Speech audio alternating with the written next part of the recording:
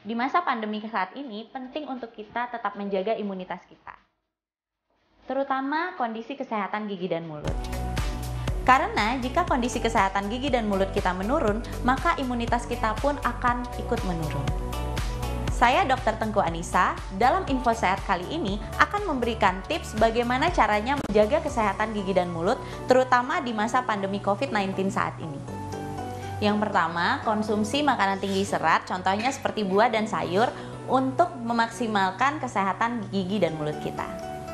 Yang kedua, hindari makanan manis dan lengket karena makanan manis yang lengket itu dapat melekat di gigi dan mulut kita sehingga kuman bisa memproduksi asam dan menyebabkan gigi berlubang.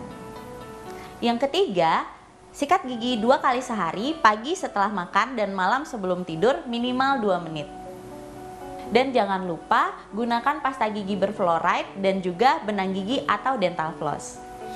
Minum air putih minimal 8 gelas sehari agar tubuh kita terhidrasi sehingga mulut kita mampu memproduksi saliva atau air liur dengan maksimal sehingga menghindari kondisi gigi berlubang.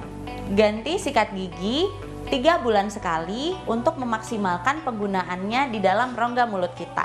Dan jangan lupa menyikat lidah ya. Dan apabila memiliki masalah di rongga mulut, maka kalian bisa konsultasi online ke dokter gigi ataupun datang langsung ke klinik gigi. Tetap selalu sehat ya!